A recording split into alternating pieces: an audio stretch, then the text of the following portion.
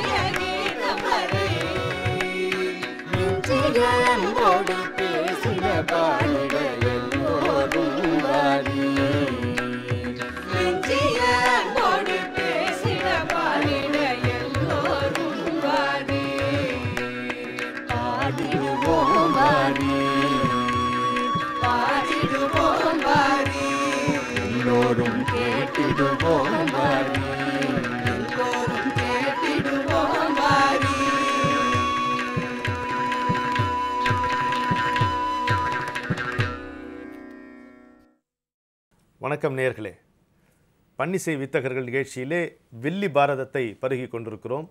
அதை நமக்கு விளக்கி கொண்டிருக்கிறார்கள் பேராசிரியர் மா வைத்திலிங்கன் அவர்கள். டாக்டர் சுந்தர் அவர்கள். இதில் உருக்கமான ஒரு கட்டத்திலே இருக்கிறோம். குருட்டர குருட்டவையில் சான்றோரும் கூனியே போன இருட்டவையில் தேவி இடர்களைய தர்மம் பொருட்டொன்றாய் கொண்ட புருஷோத்தமனே பொருட்டாக வாழ்தல் பொறுப்பு. ஆ நல்லா இருக்கு. சரணாகதியை பார்க்க போகிறோம். ஆராகி இரு தடங்கண் அஞ்சன வெம்புனல் சோர அழகம் சோர வேரான துகில் அகைந்த கை சோர. தகைந்த. வேரான துகில் தகைந்த கை சோர. மெய் சோர. வேறோர் சொல்லும் கூறாமல் கோவிந்தா கோவிந்தா. என்று அரற்றி குளிர்ந்து நாவில் ஊறாத அமிழ்தூர. உடல் புடகி உடல் புலகித்து உள்ளமெல்லாம் உருகினாளே என்று அந்த திரௌபதி வஸ்திராபரண காட்சியை இதை விட அழகா சொல்ல இதை முடியும் விட அழகா சொல்ல முடியாது. உடல் புல் அது இதுல ஒரு அழகான யோக காட்சியும் இருக்கிறது ஐயா. அவமானப்படுத்தப்பட்டாள். ஆனால் எந்த கணத்தில் கண்ணனை நினைத்தாளோ அந்த கணத்திலே அவள் காப்பாற்றப்படுகிறாள். அந்த கண்ணனினுடைய பெயரை நினைத்த மாத்திரத்திலேயே அவளுடைய உடம்பிலேயே மாறுதல்கள் நிகழ்கிறது. உள்ள உடல் குளிர்கிறது. உள்ளம் மகிழ்கிறது. நாவெல்லாம் ஊறுகிறதுங்கிறார். அமிழ்தம் ஊறுகிறதுன்னு. அன்னித்து அமிழ்தோறும் என் நாவிக்கேன்னார் இது வந்து ஒரு யோக அனுபவமாகவே இதை சொல்லலாம். தொடர்ந்து அருமறை சொல்லிய நாமம் ஆயிரமும் உரைத்து அழைக்க அமரர் போற்றும் திருமலர் செஞ்சீர் அடியோன் திருச்செவியில் இவன் மொழி சென்று இவள் மொழி சென்று இசைத்த காலை மறுமலர் மென்குழல் மானின் மனநடுங்கா வகை மனத்தே வந்து தோன்றி. அவளுடைய ம அவ- அழைத்த உடனே அவன் காதுல கண்ணன் காதல் விழுகிறதா? அவள் மனம் நடுங்காத வண்ணம் அவள் மனத்தே வந்து தோன்றி கரியமுகில் அணையானும் பிறர் எவர்க்கும் தெரியாமல் கருணை செய்தான் என்று வில்லி பாடுகிறார். ரொம்ப அருமையான ரொம்ப அருமையான பாட்டு. இரண்டு பாடல்களையும் என்ன ராகத்தில் அமைந்திருக்கிறதுனா எனக்கே கூட இது கொஞ்சம் புரிகிறது. சாமா ராகத்தில் அமைந்திருக்கு. சாமாவும் ஒரு ஜன்னிய ராகம் தான் ಮಧ್ಯಮ ಪ್ರಧಾನ ತರಣ ತರ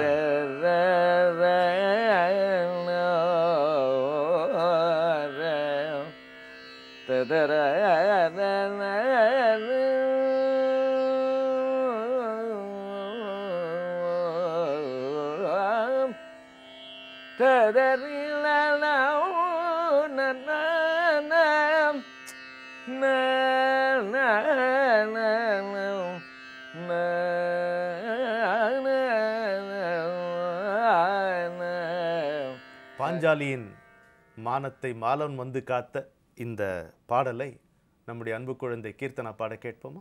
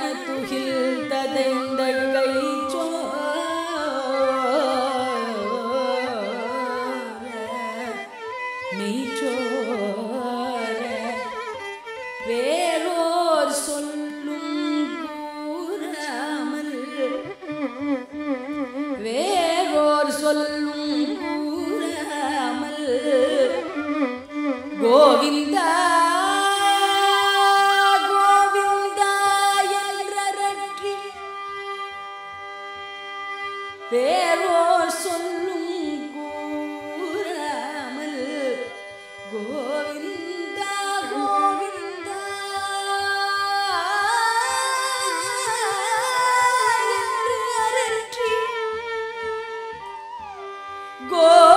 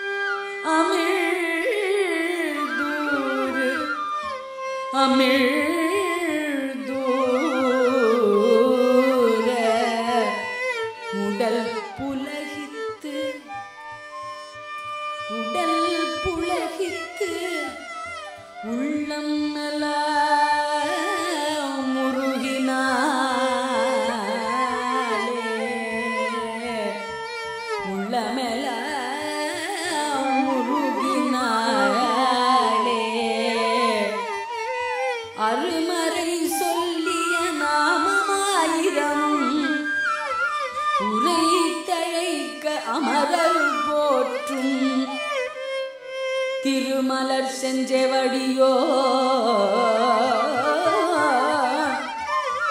திருமலர் செஞ்செவடியோ செஞ்செவடியோ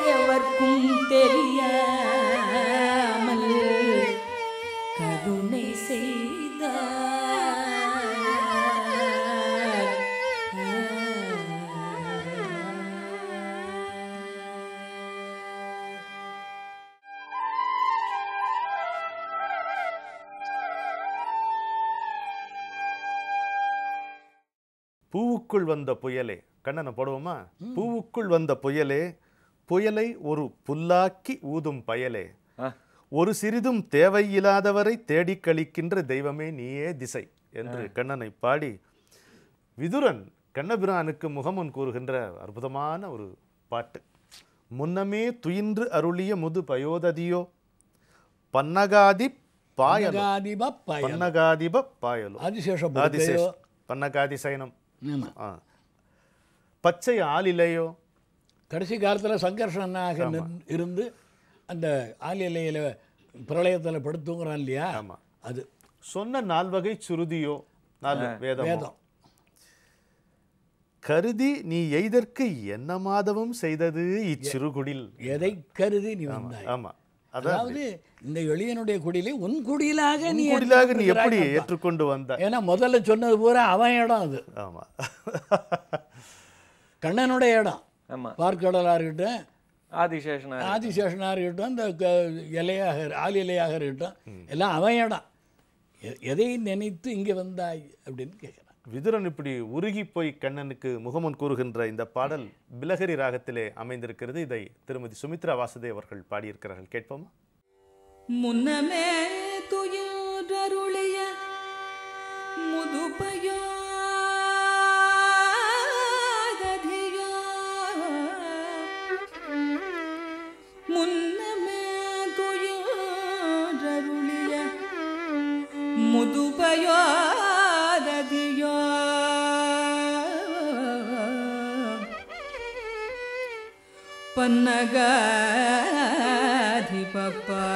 பன்னகாதிபப்பாயனோ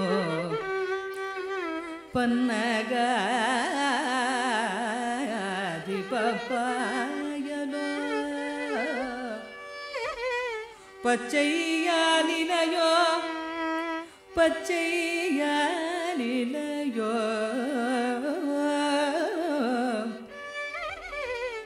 சொன்னனா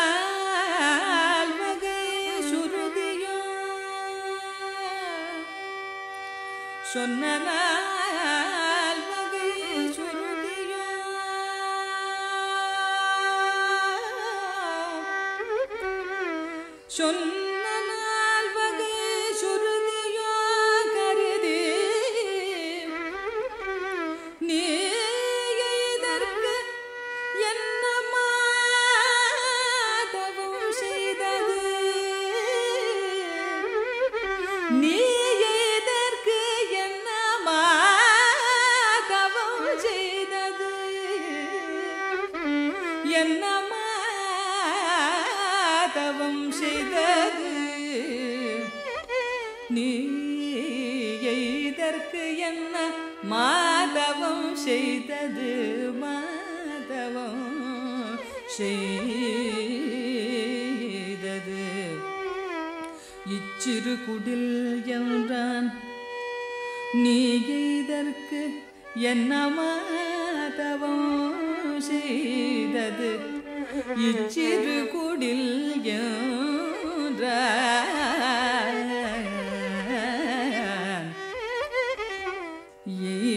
எய்தற்கு என்ன மாதவம் செய்தது. என்ன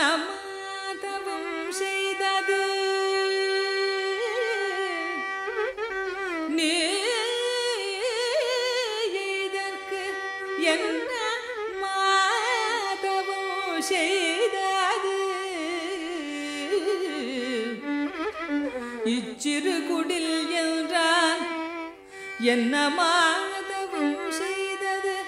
எச்சரு குடில் என்றான்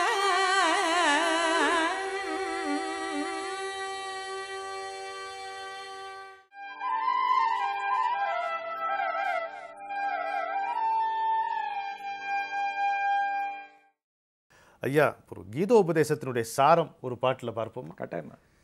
என்னை நீ புகழ கேண்மோ? எங்குமாய்? யாவுமாகி? மன்னிய பொருளும் யானே மறைக்கலாம் முடிவும் யானே உன்னை யான் பிரிவது இல்லை ஒரு முறை பிறந்து மேல் நாள் நல் நல் நிலா எரிக்கும் பூனாய் நரனும் நாரணனும் ஆனோம் அப்படின்னு சொல்றார். என்னுடைய விளக்கம் சொல்லலாம் நீங்க. ஒரு காலத்தில் நரனும் நாராயணனுமாக ரெண்டு பேராக ஒரே சமயத்தில். இறைவன் அவதாரம் செய்தான். ஆறு ஆறு மாதம் இவன் தவம் செய்வான் அவன் அந்த அசுரனோட போர் செய்வான். ஆமாம் அப்புறம் அடுத்த ஆறு மாதம் இவன் தவம் செய்வான் அவன் போர் செய்வான். இப்படி மாறி மாறி இருந்தார்கள். நரநாரணர்களாக. அந்த நரன் நீ நாரணன் நான். நான். எனக்கு எல்லாம் நினைவு இருக்கிறது உனக்கு நினைவில்லையா? கீதை நல்ல சாரமாகும். என்னை எங்கப்பா? ஐயன்னா மேலவன் மேலவனே அப்படின்னு அர்த்தம். என்னை நீ புகழ கேட்போம். இந்த கீதோபதேச காட்சி ஸ்ரீரஞ்சனி ராகத்தில் அமைந்திருக்கிறது. பஞ்சம வர்ஜ ராகம். பஞ்சமம் கிடையாது. அப்போ என்னெல்லாம் இருக்கு மீதி? ரே க ம த நி கரகர பிரியா ஜன்யம். ரே க ம த நி த ம க சா நி த நி ச ரி க ம க ம த நி த ம த நி ச நி ச ரி க ரி ச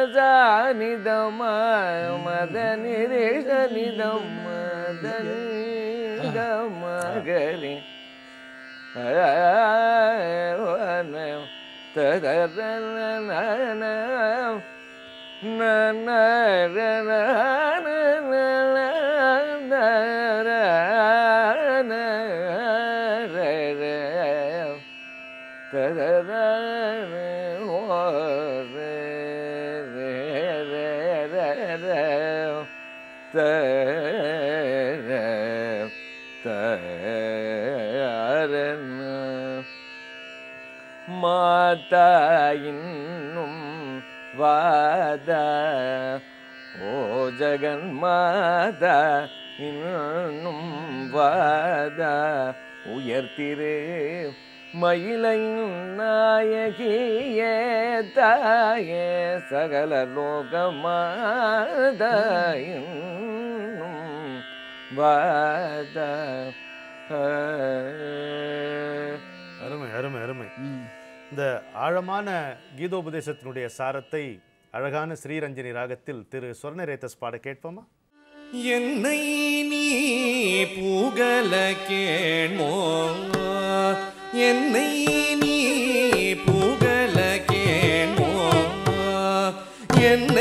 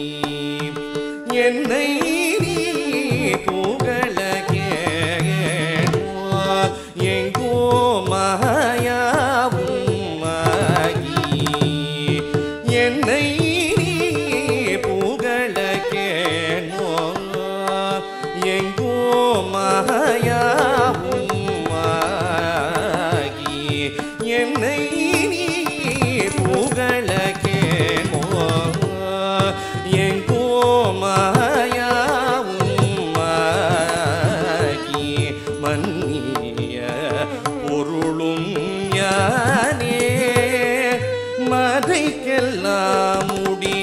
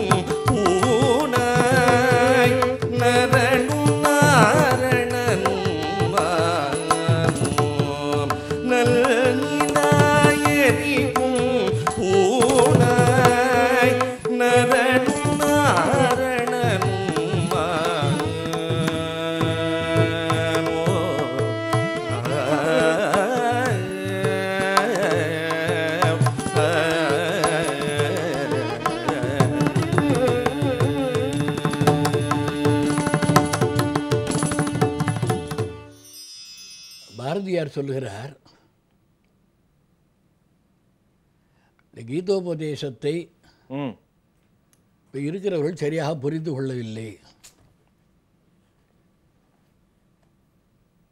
இதெல்லாம் தத்துவங்களை ஒழிய உன் இந்த கதையையே பிடித்து கொண்டு அலையக்கூடாதுங்கிறார். அர்ஜுனன் ஜீவாத்மா. துரியோதனாதிகள் நம்மை பிடித்து இருக்கின்ற காம குரோத லோப மோக மதமாச்சரியங்கள் முதலான தீக்குணங்கள். இல்லையா? கண்ணபிரான் பரமாத்மா. இவன் இதிலிருந்து விட்டு விலகி இந்த மாயையிலிருந்து விட்டு விலகி அவர்களை எதிர்த்து போரிடு என்று சொல்வதுதான் உண்மையான கீதோபதேசம். இதை மூடர்கள் தவறாக புரிந்து கொள்கிறார்கள் அப்படின்னு அழுத்தி சொல்லுகிறார். அதை விட நம்ம என்ன சொல்ல போகிறோம்? மகாகவி பாரதியாருடைய பகவத்கீதை மொழிபெயர்ப்பு. அதிலும் குறிப்பாக அவர் அதற்கு எழுதியிருக்கிற முன்னுரை முன்னுரை தான் ரொம்ப. படிக்க வேண்டும். முன்னுரை ரொம்ப சிறப்பான உரை. இன்பத்தையும் துன்பத்தையும் சமமாக கருதல் கருதுதல் என்றால் என்ன பொருள்? சுகமாக மருவுகின்ற தென்றல் காற்றுக்கும் குஷ்டரோகியின் உடம்பில் நெளியும் புழுவுக்கும் பேதம் தெரியாமல் புத்தி பேதலித்து மண்ணாய் போய்விட வேண்டும் என்ற அவசியம் இல்லை அப்படின்னு எழுதுவார். அற்புதமான தீமையை கண்டால் சாட வேண்டும். சாடலாம் சிறுமை கண்டு பொங்குவாய். ஆமாம். நையை புடை நொந்தது சாகும். நோற்பது கைவிடேல் அப்படின்னு சொன்னார் பாரதியார். அதனால் அவரை நினைக்கணும் இந்த இடத்துல. கீதோபதேசத்தை மற்றவர் சொல்கிற மாதிரி வெறும் ஏன்னோ போர்க்களத்தில் சொன்னது போனது வந்ததுன்னு சொன்னால் அங்கே போய் இப்போ பதினெட்டு நாள் போரில் இவனே ஒரு நாள் பகவத்கீதையை முழுக்க படித்து புரிந்து கொள்வதற்கு எவ்வளோ நா நேரமாகும் நாளாகும். போர்க்களத்தில் உட்காந்துக்கிட்டு உபதேசம் பண்ணிக்கிட்டு இருந்தால் என்ன ஆறுது? அப்படி அது கதைப்படி போகக்கூடாது. கதையை கொட்டு கட்டி கொண்டு அழக்கூடாது. தத்துவத்தை மாத்திரம் புரிந்து கொள்ள வேண்டும். நிமிஷத்தில் புரிய வைக்கிறான் ஜீவான்மாவுக்கு யார்? பரமான்மாவாகிய கடவுள். பாரத நாட்டுக்கு இரு கண்களாக விளங்குகின்ற இதிகாசம் இதிகாசம்னா இது நடந்தது என்று பொருள். ஒன்று ராமாயணம் இன்னொன்று மகாபாரதம். அந்த மகாபாரதம் வியாச முனிவர் அருளி செய்ததை பல மொழிகளில் இந்திய மொழிகளிலும் மொழிபெயர்க்கப்பட்டுள்ளன. மொழிபெயர்ப்பு என்று சொல்லாமல் அதை ஒற்றி பாடப்பட்டிருக்கின்றன. அதிலே நமக்கு தமிழிலே கிடைத்திருப்பது ஐயா முதலில் குறிப்பிட்ட பெருந்தேனாருடைய வெண்பா பாரத வெண்பா அது முழு பகுதி நமக்கு கிடைக்கவில்லை. வில்லிபுத்தூரார் அருளி செய்திருக்கின்ற மகாபாரதம் நமக்கு முழுக்க கிடைத்திருக்கிறது. எப்படி பாரதத்திற்கு சாரமாக விளங்குவது கண்ணாக விளங்குகிறது பாரதமோ மகாபாரதமோ அந்த மகாபாரதத்தின் மையமாக விளங்குகிறது கண்ணன் அருளிய பகவத்கீதை.